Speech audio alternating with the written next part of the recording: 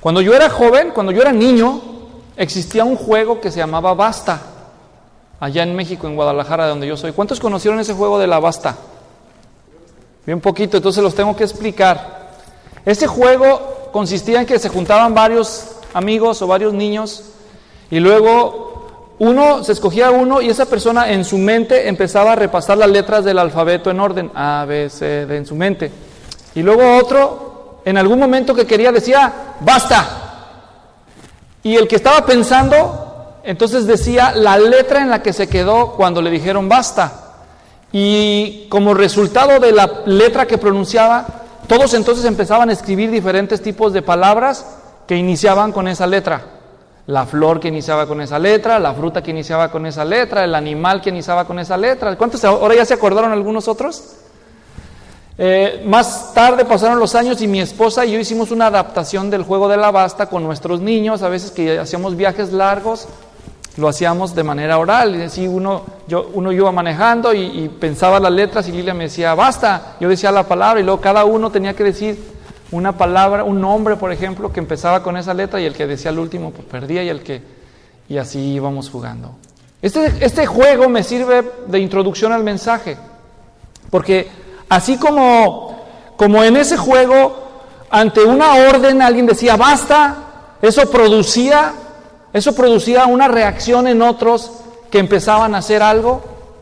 Hoy vamos a ver en el pasaje que Dios tiene asignado para nosotros eh, cómo de, de la misma forma, cuando nosotros venimos a conocer a Cristo, hay una especie de paralelo con ese juego.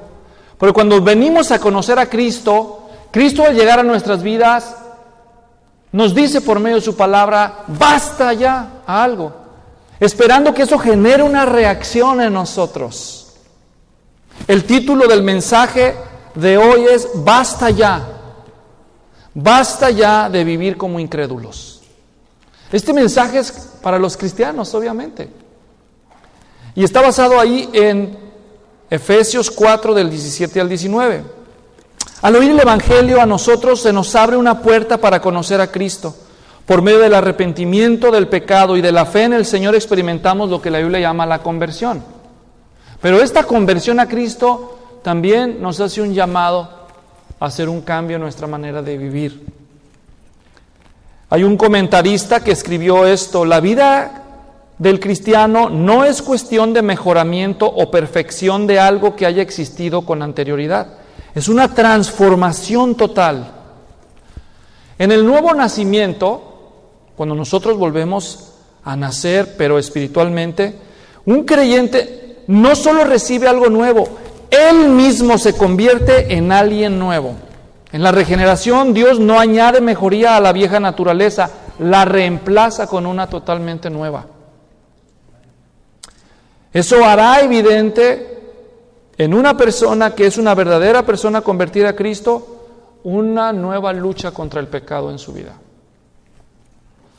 La carta de Pablo a los Efesios está dividida en dos grandes partes que yo ya he explicado antes, solo para recordar el contexto. Tiene seis capítulos, los primeros tres nos hablan de las realidades espirituales y los últimos tres nos hablan de las responsabilidades espirituales. La palabra clave de la segunda mitad de la carta es andar, andar. Y esa palabra nos ilustra lo que significa vivir como cristianos. Cuando tú piensas en la palabra andar, eso implica movimiento y avance, ¿cierto? No es algo estático, es algo que nosotros hacemos. Y esa palabra ilustra la conducta cristiana, la vida cristiana. Pablo dice en el capítulo 4, en el principio de esta segunda sección, si ustedes recuerdan, yo pues prisionero del Señor os ruego que viváis, dice la Biblia de las Américas, y como lee la Reina Valera, que andéis como es digno de la vocación con que han sido llamados. Dios ha llamado a los cristianos a seguir a Cristo, pero ahora esa llamada que Dios les hizo a seguir a Cristo se debe de demostrar viviendo de una manera digna de Cristo. La salvación no es por obras, pero nos llama a una vida, a un nuevo caminar con Dios, diferente. Y de eso se nos habló en los primeros versículos del capítulo 4, se nos dice que nosotros, una manera digna de vivir como cristianos ahora es vivir con humildad, vivir con mansedumbre, vivir con unidad unos con otros. Después en los versículos 7 al 16 se nos llama a identificar nuestros dones que Dios nos ha dado, que Cristo nos ha dado, y a usarlos para que juntos como iglesia crezcamos en la semejanza de Cristo. Así que el andar del cristiano es un andar en humildad, un andar en mansedumbre, un andar en unidad, un andar en crecimiento en la semejanza de Cristo. Pero no solamente es andar, sino hay algo que debemos dejar de hacer también. Y eso es lo que Pablo va a mencionar en los versículos 17 al 19. De hecho, esta es la primera parte de la sección 17 hasta el 24 desde el capítulo 4, versículos 17, hasta el 24, Pablo va llamando a los cristianos en el nombre del Señor a que dejen de vivir como los incrédulos. Y les va a dar tres razones por las que deben dejar de vivir de esa manera. Pero por cuestión de tiempo, hoy solamente vamos a estudiar con detenimiento ese llamado, esa orden, y luego vamos a ver la primera de las tres razones por las que debemos de dejar de vivir como viven los que no conocen al Señor. Esos son los puntos de mi mensaje. Entonces, vamos pues al texto. Voy a leer versículos 17 al 19. Efesios 4 en la Biblia de las Américas. Dice así. Esto digo pues y afirmo juntamente con el Señor, que ya no andéis. ¿Cuál es la palabra que se usa? Otra vez, ¿verdad? Ya no andéis así como andan también los gentiles en la vanidad de su mente, entenebrecidos en su entendimiento, excluidos de la vida de Dios por causa de la ignorancia que hay en ellos, por la dureza de su corazón. Y ellos, habiendo llegado a ser insensibles, se entregaron a la sensualidad para cometer con avidez toda clase de impurezas. Hasta ahí nos vamos a quedar hoy. Vamos a ver entonces, eh, tengo dos puntos en mi mensaje en el día de hoy. El primer punto es conocer la orden que se nos da aquí. Vamos a conocer con detalle esa orden. La orden que se nos da, en primer lugar, es la orden de dejar de vivir como incrédulos. Basta ya de vivir como incrédulos. Y después vamos a ver las razones por las que debemos atender esa orden. Y hoy solamente vamos a ver la primera de esas tres razones. Fíjense bien una vez más en el versículo 17 los detalles de la orden. ¿Cómo empieza? Dice, esto digo pues. Cuando usted encuentra la palabra pues en versículos como este, él está haciendo un resumen de lo que ha dicho antes. Esta orden de ya no andar como los que no conocen a Cristo como su Señor y Salvador, está conectada con lo que Él ha dicho antes. Es una conexión. Esto es otra manera en donde nosotros andamos vivimos de una manera digna del Señor, lo que dijo en 4.1. Le dice, les ruego que vivan, que anden de una manera digna.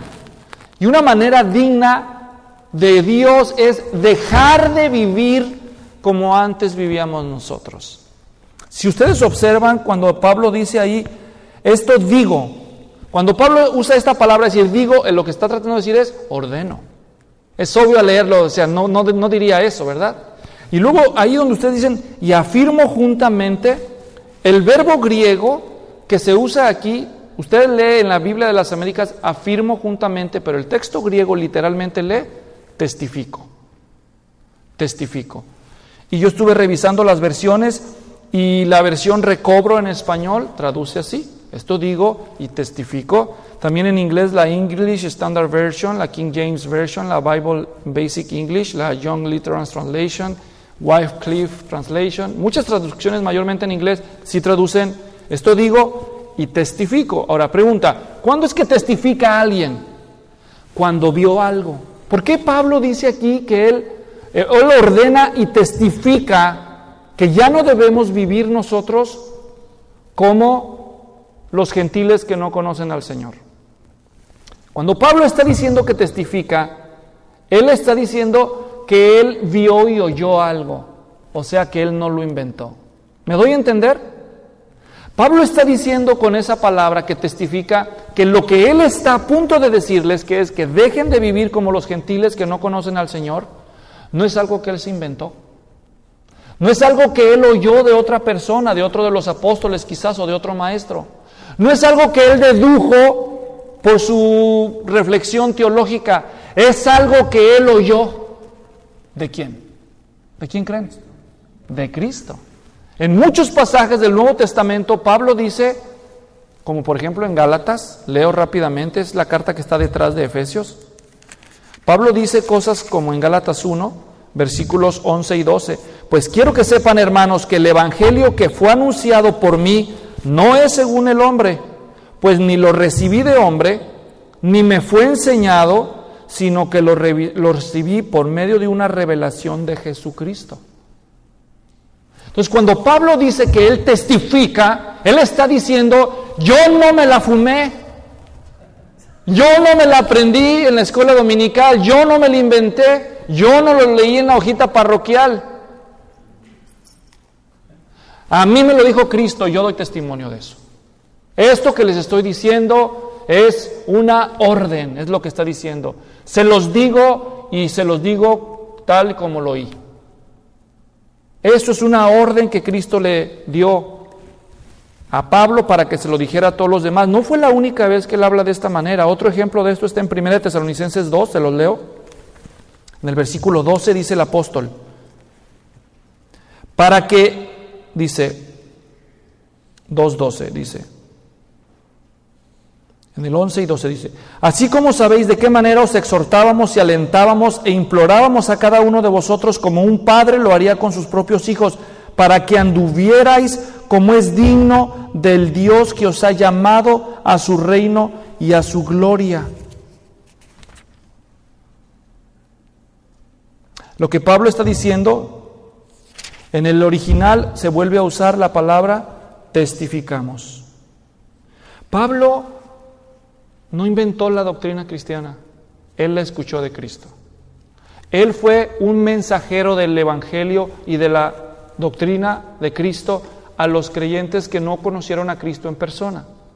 Y, Pablo está diciéndonos aquí es que Cristo, a las personas que invita a creer en Él, quiere que tengan un cambio en su manera de vivir.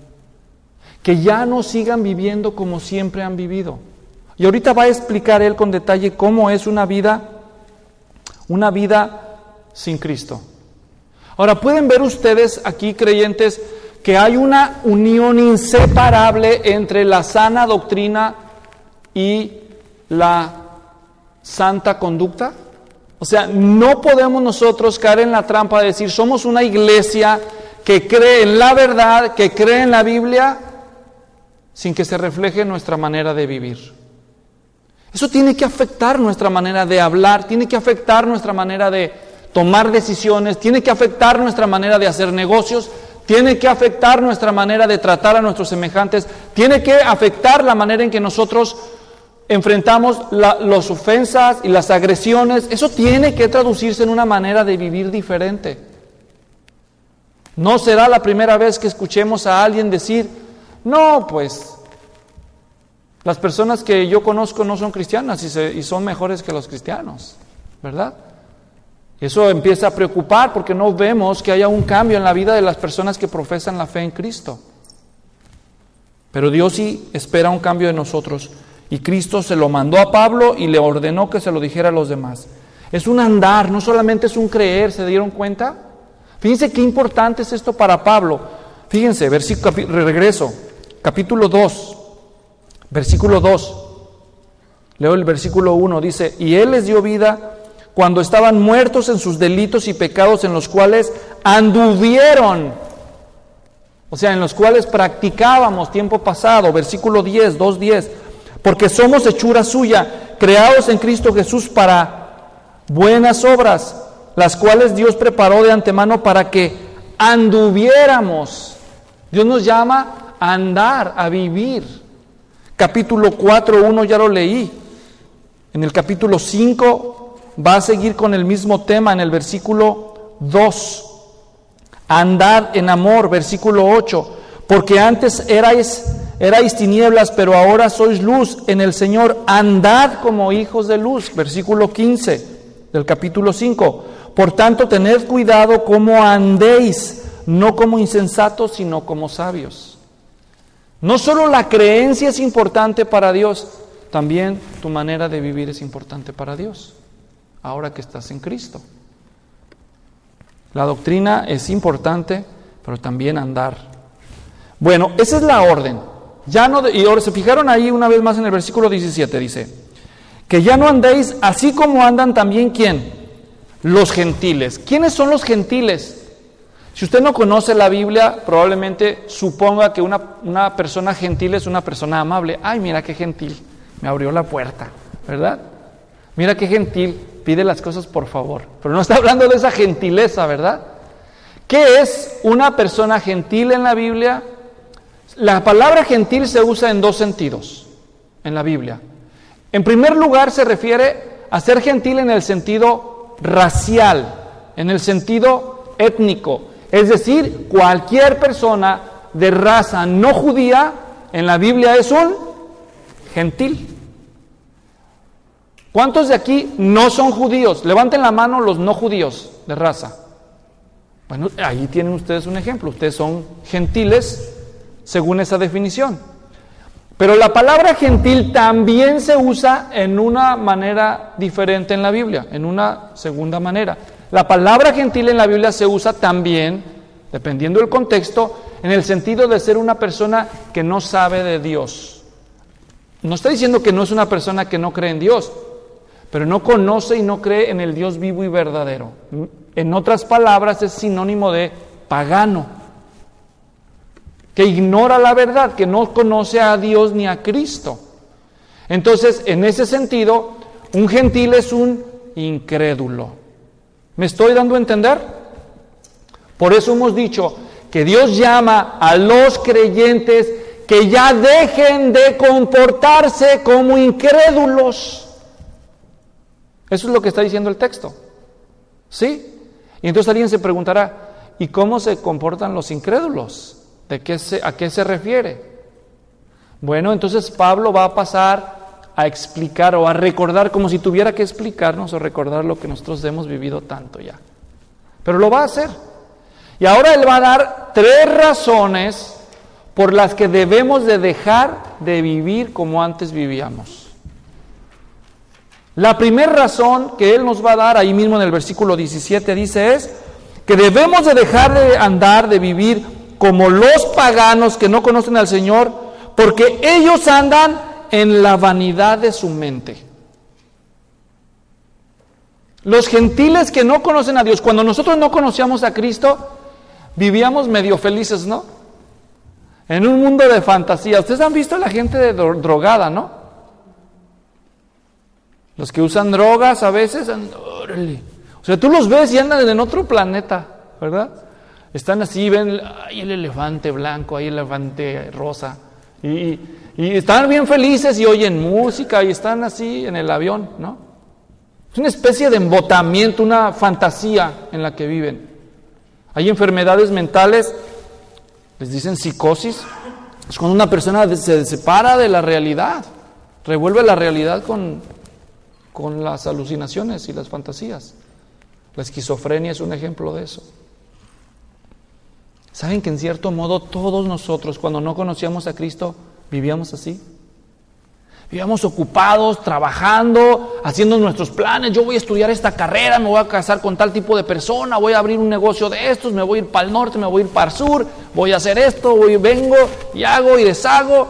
Y en nuestra mente empezamos a hacer un plan de lo que según nosotros es nuestra felicidad, ¿o no?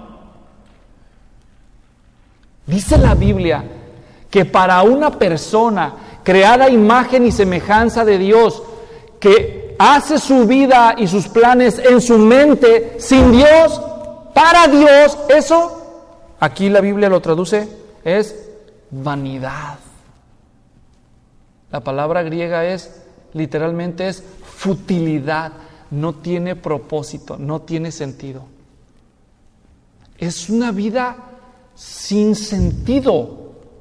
O dicho en otras palabras, la primera razón, cristianos, por la que ustedes y yo debemos de dejar de vivir en nuestra vida cotidiana como los que no conocen a Cristo es porque si nosotros hacemos eso, lo que estamos haciendo es un desperdicio de nuestra vida. Vivir nuestra vida como cristianos, como lo hacíamos antes que no conocíamos a Cristo, es un desperdicio. Aunque en tu mente estés convencido de que es lo que tú quieres y es ser feliz eso, para Dios, el creador y el sustentador de todas las cosas, vivir para ti mismo sin tomar en cuenta a Dios es una vida sin sentido. Es una vanidad en la mente de la gente. ¿Por qué la gente vive en esta fantasía, en esta ficción? Aquí Pablo va a explicar y nos va a recordar cuál es la, la horrenda realidad de una persona que no tiene a Cristo. En los versículos siguientes, en el 18 y el 19. Fíjense bien. Él nos va a decir por qué es un desperdicio. ¿Por qué es un desperdicio vivir como un incrédulo cuando tú eres un creyente? Él nos va a decir que el creyente, perdón, el incrédulo está desperdiciando su oportunidad porque tiene un problema muy, muy, muy severo, muy grave. Fíjense cómo lo define Pablo al final del versículo 18. La causa de la problemática del incrédulo es la dureza de su corazón. ¿Ustedes creen que se refiere Pablo al músculo cardíaco que bombea la sangre en nuestro cuerpo? ¿A qué corazón se refiere él? Al corazón espiritual, ¿verdad? La Biblia dice que todos los seres humanos tienen un corazón de piedra, duro. Ahora, no se confundan con lo que la Biblia dice, un corazón de piedra, con personas que son tiernas y bondadosas y que no son cristianas. Mi abuelita era muy tierna conmigo y no conocía del Señor. Yo era su nieto favorito y me consentía y era muy dulce conmigo, mi abuelita Chayo.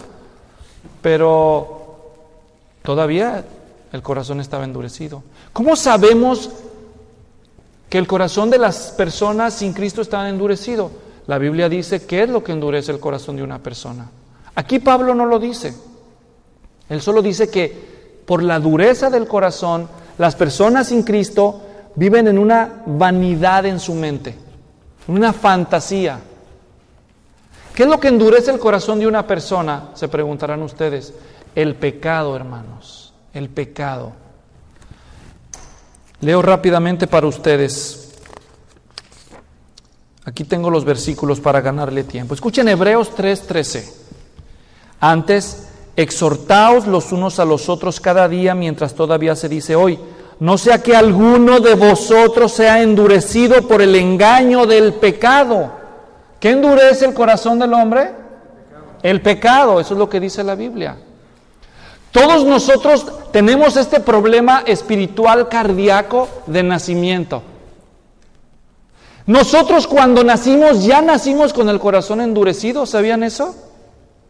Porque el pecado ya lo traíamos por herencia de nuestros padres. Solo para recordar, Salmos capítulo 51, versículo 5. He aquí, yo nací en iniquidad y en pecado me concibió mi madre. Si el pecado endurece el corazón y tú naces con pecado, entonces ¿cómo traes el corazón al nacer? De piedra. ¿Qué dice también Romanos 5:12? Por tanto, tal como el pecado entró en el mundo por un hombre, ¿quién fue ese hombre? Adán y la muerte por el pecado, así también la muerte se extendió a todos los hombres, porque todos pecaron. ¿A quién se extendió el pecado? A todos los hombres. Quiere decir que si al nacer nacemos pecadores, porque lo heredamos de nuestros padres, en pecado me concibió mi madre, decía David en el Salmo 51. Y Pablo decía, por Adán todos nosotros heredamos el pecado. Quiere decir que todos nacemos con la dureza de corazón. Y cada vez que pecamos lo hacemos más duro todavía. Dice primera de Pedro 1:18, sabiendo que no fueron rescatados de su vana, una vez más palabra, vana manera de vivir heredada de vuestros padres. ¿De dónde heredamos la vana manera de vivir? Esta vanidad de nuestros padres. De ahí viene el pecado, se nos ya nacemos con el corazón endurecido. ¿Saben qué pasa cuando las arterias se endurecen? Se llama esa enfermedad arteriosclerosis, así se llama. ¿Qué está pasando con las arterias? Ustedes lo saben, algunos de ustedes hasta la padecen. ¿Qué es eso? se endurecen y pueden ser causales de un infarto, ¿verdad? Todos nacimos con el corazón espiritual endurecido, más muertos que una piedra, espiritualmente hablando. Tenemos dureza de corazón. Y cada vez que pecamos, se puede endurecer más. Pablo dice en, una de sus cartas en 1 Timoteo que algunos tienen cauterizada la conciencia. Entonces, el ser humano tiene un problema. El ser humano que no conoce al Señor, no conoce a Cristo, puede ser religioso y todavía tiene el corazón endurecido para las cosas de Dios. La dureza de corazón produce cinco resultados horribles en una persona incrédula. Dios ya nos sacó de eso, pero tenemos que recordarlo y eso es lo que Pablo quiere. Fíjense, cinco resultados espantosos de la dureza de corazón en una persona, regresando a Efesios capítulo 4, versículos 18. Bueno, en primer lugar dice que la persona que tiene dureza de corazón, dice en el versículo 18, tiene entenebrecido su entendimiento. ¿Qué es entenebrecido? Oscuro, eso significa. Lleno de tinieblas. ¿Qué es lo que tiene lleno de tinieblas, dice ahí? El entendimiento. Fíjense bien cómo dice más adelante, excluidos de la vida de Dios por causa de la ignorancia que hay. Entonces, un corazón endurecido va a afectar la mente de la persona. El entendimiento del incrédulo está entenebrecido. Su mente con respecto a las cosas de Dios es ignorancia. ¿Se fijan? Yo no escribí esas palabras, ¿eh? Vuelvo a leer, estoy en Efesios 4, 18 entenebrecidos, los que no conocen al Señor, en su entendimiento. O sea que el entendimiento de la persona, para empezar, cuando una persona no tiene a Cristo, las cosas de Dios le parecen absurdas. Qué aburrido hablar de Dios. Hay que hablar de fútbol mejor. Hay que hablar de las películas. ¿Cuáles salieron el viernes, el jueves? Cuéntame de la política, va a haber elecciones. O sea, cualquier tema es más interesante, pero no, no, no. Como suele decir ese refrán popular entre ellos, ¿no? Hablar de política y de religión, prohibido, ¿verdad? Y tú empiezas a hablar de Dios y dices, no, ya vas a empezar. ¿Saben que las personas que se jactan de ser las más brillantes del mundo, las más inteligentes, las más conocedoras, las más instruidas, consideran el conocimiento de Dios una, un desperdicio? La, mayoría, la mitad de los que se creen los más conocedores de este mundo son ateos. Saben de todo menos de lo que es más importante saber, el conocimiento de Dios. ¿No es cierto? La ignorancia. Están en una ignorancia, están entenebrecidos. Romanos capítulo 1, versículo 28 dice, como no tomaron en cuenta a Dios, dice, se envanecieron en sus razonamientos y su necio corazón fue entenebrecido. Así que la, mente de la persona sin Cristo está en confusión, en tinieblas. Y luego Satanás al ver que una persona está entenebrecida en su razonamiento de Dios, viene y agrega, porque dice segunda de Corintios capítulo 4, versículo 4, que el Dios de este siglo ha cegado la mente de los incrédulos para que no les resplandezca la gloria del evangelio de Cristo. Satanás, Satanás agrega su parte a este problema intelectual del incrédulo. La dureza de corazón no solo afecta a la mente de la persona, afecta también sus emociones. Fíjense ahí en el versículo, todavía estamos en Efesios 4:18, dice, perdón, me brinqué la frase, excluidos de la vida de Dios. Una persona sin Cristo está excluida de la vida de Dios. Dicho en otras palabras, si alguien está excluido de la vida es porque está muerto, ¿verdad? Él ya habló de eso en el capítulo 2, ya lo habíamos visto cuando dice que nosotros estábamos muertos en nuestros delitos y pecados y en el versículo 12 recuerden que en ese tiempo estábamos separados de Cristo, excluidos de la ciudadanía de Israel, extraños a los pactos de la promesa sin tener esperanza, sin Dios en el mundo. Una persona con el corazón endurecido está espiritualmente muerta, intelectualmente ignorante de las cosas de Dios, emocionalmente insensible. Versículo 18. Estoy en Efesios una vez más. Dice, por causa de la ignorancia que hay en, ellos por la dureza de su corazón, versículo 19, y ellos teniendo, habiendo llegado a ser, ¿qué? Efesios 4:19. Ellos, hablando de los gentiles que no conocen al Señor, habiendo llegado a ser insensibles. Una persona sin conocer a Cristo como su Salvador es insensible al pecado. Peca y no le duele. Hay dos tipos de pecadores. Los pecadores moralistas y los pecadores pervertidos, si así los queremos llamar. Y bueno, en, esta, en este espectro pues hay muchos grados, ¿no? Hay niveles de moralidad y niveles de perversión, pero igual todos no conocen al Evangelio, son pecadores al fin. En Romanos capítulo 2 y 3 se nos habla de los pecadores moralistas. Y en el capítulo 1 se nos habla de los pecadores depravados, pero pecadores al fin. Al final él concluye, Pablo concluye en Romanos capítulo 3, dice, que pues diremos, todos estamos bajo pecado, todos. Ahora fíjese bien, aún el moralista, el que se dedica a hacer buenas obras, él cree que hace buenas obras. ¿Por qué las hace? Los hace para que la gente piense bien de él. Las hace para evitarse problemas con su mujer las hace para tener contenta a su mamá, las hace para ganarse el cielo. O sea, los motivos del moralista son motivos egoístas. No piensa en la gloria de Dios, no piensa en la santidad de Dios que es insultada, pisoteada por nuestros pecados. Lo que le preocupa es ser descubierto en sus pecados, no es dejar de practicarlos por la gloria de Dios.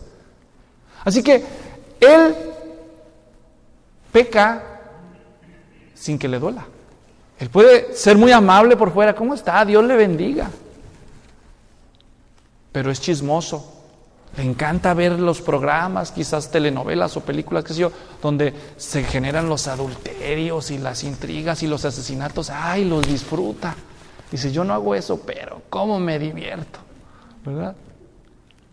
Puede ser chismosa, rencorosa, la persona envidiosa. Son pecados que no son tan visibles y no siente culpa. ¿Verdad que no? Ahora hay otros pecados que son evidentes. Y entre más pecas la conciencia, más insensible se hace. Lo que Pablo dijo, cauterizar la conciencia. Cuando una persona mata a otro ser humano, es algo muy profundo en el alma del asesino. Pero dicen que el problema es la primera vez, porque la segunda vez es más fácil. Todos sabemos que el que se divorcia, el que engaña a su pareja, y se divorcia, tiene tres por, el triple de probabilidades de volverse a divorciar. Y el que se divorcia una segunda vez tiene cinco veces más probabilidades de volverse a divorciar. ¿Por qué pasan estas cosas? Porque el pecado endurece y hace insensible la conciencia. Esa es una realidad. Miren, si no fuera por la gracia común de Dios, ¿qué es la gracia común? Es el favor que Dios le da a todos, buenos y malos. ¿Se acuerdan? Dice el Evangelio, Dios hace salir su sol sobre justos e injustos. Tú no necesitas ser cristiano para contar con el oxígeno para respirar y vivir, para disfrutar de un amanecer, para disfrutar de una fruta, para ver a los niños reír. Entonces son regalos que Dios nos da a todos, ¿sí o no? Es más, no necesitas ser cristiano para ser rico. Ah, yo creo que al contrario, la mayoría de los ricos no son creyentes, ¿verdad? Al menos no a la luz de las escrituras. Y todo eso es favor que Dios les da. Sí, gozan de todo eso. Y con todo, esa gracia común detiene que muchas de las personas terminen en el nivel más grosero de depravación. Pero si no fuera por Dios, por la conciencia que ha puesto en cada ser humano y por la iglesia verdadera, espiritual, de los verdaderos cristianos que se resisten al pecado y por el Espíritu Santo, cada ser humano podría llegar a ser un depravado en su nivel más extremo.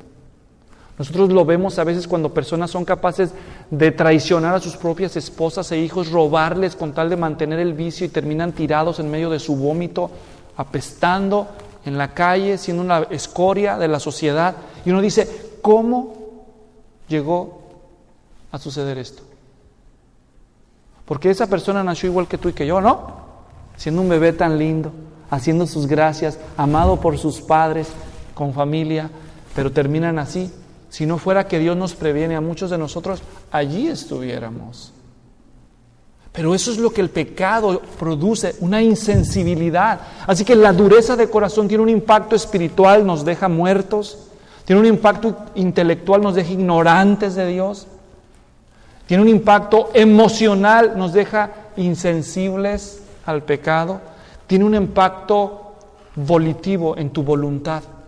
Porque el pecado en el incrédulo, dice aquí el pasaje, observen conmigo, en el versículo 19, que habiendo llegado a ser insensibles, se entregaron a la sensualidad. ¿Pueden ver eso? Se entregaron a la sensualidad. El texto griego literalmente dice, asimismo se entregaron al desenfreno. La palabra sensualidad es la palabra griega aselgeía. Y esa palabra aselgía es a sin y freno, sin freno. ¿Qué es sin freno? Desenfreno. Se entregaron al desenfreno. ¿Qué significa eso? Que la voluntad de la persona deja de servir. Es como un carro que va, un, un vehículo que va encarrerado y se le acaban los frenos. ¿Qué pasa? No se puede detener. Como el alcohólico que usé de ejemplo hace rato. Con una que tome, ya estuvo, ¿verdad? Algunos de ustedes crecieron con alcohólicos, o quizás lo fueron. Una, dicen, tómate una, compadre, tómate una, una no es ninguna. Pues sí, ¿verdad? Una no es ninguna, se la toma. Y luego viene el otro y le dice, y dos es como una. Entonces, ¿qué pasa? Lo que era un trago, ahora es que termina tirado en la borrachera. Por una, termina tirado. ¿Por qué creen que existe el Alcohólicos Anónimos? Porque hay personas que no se pueden detener, no pueden manejar su manera de beber. Pero eso es solo un pecado. La voluntad se debilita entre más se practica el pecado, creyentes. No podemos nosotros seguir viviendo como antes vivíamos, porque estábamos perjudicados en todo sentido, a nivel espiritual, a nivel intelectual, a nivel emocional, a nivel volitivo en nuestra voluntad, y para acabarla, también en el cuerpo. Fíjense bien a dónde conduce ese desenfreno, dice ahí el versículo 19. Para cometer o para practicar, también se puede traducir, con avidez toda clase de impurezas. Esta expresión impureza se refiere a impurezas sexuales. Y la palabra avidez en griego es pleonexia, significa avaricia, codicia. Pablo ya la mencionó en otros lugares de esta carta, y en el capítulo 5 la vuelve a mencionar en el versículo 5, donde dice, con certeza sabéis esto, que ningún inmoral, impuro o avaro, ven otra vez cómo él asocia las dos cosas. Hermanos, cuando alguien es debilitado en su voluntad, esto va a tener un impacto en su cuerpo. La persona que es debilitada en su voluntad se convierte en una persona inmoral sexualmente hablando, el cuerpo, materialista, avaricia. ¿Verdad? Más y más. Hay personas que son muy religiosas, claro, de las que no conocen a Cristo, y muy materialistas al mismo tiempo. Aman el dinero, aman el dinero. Todo su mente son geniales para hacer negocios y todo es dinero, todo es placer. Estos son ejemplos del el impacto que la dureza espiritual produce en los incrédulos. Un impacto intelectual, un impacto espiritual lo mata. Un impacto intelectual los conduce a una ignorancia de Dios. Un impacto emocional los conduce a la insensibilidad. Un impacto volitivo los hace perder el freno. Y un impacto incluso físico y material. Una rendición a las inmoralidades y al materialismo. Eso es lo que nosotros éramos. ¿Cómo vamos a seguir siendo eso y practicando eso? Dice él, basta ya, basta ya. La vida de una persona sin Cristo está plagada de pecado, de ignorancia, de insensibilidad espiritual. Lo que para él es una vida inteligente, Dios lo considera vano, desperdicio. Lo que el incrédulo atesora en su corazón, lo endurece. Vivir de esta manera es un desperdicio. Cristianos, Cristo nos salvó. No puede ser un desperdicio en nuestra vida. No podemos seguir siendo los mismos. Nuestra vida tiene que cambiar. Tiene que cambiar.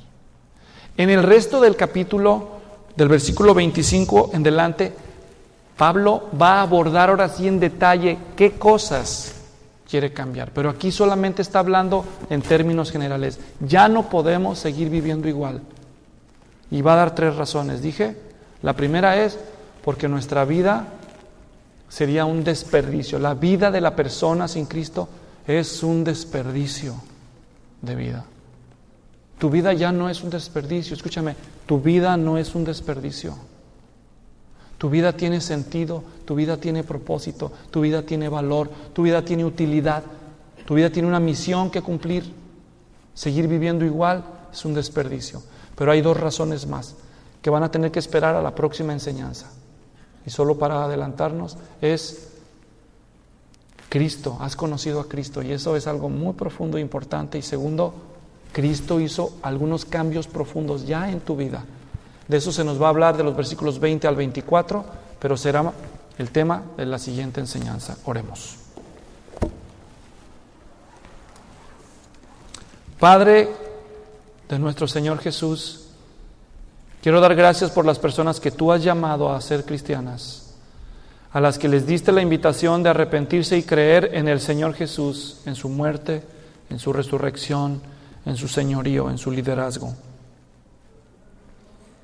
Oro para que tú sigas haciendo en nuestros corazones conciencia de la horrenda realidad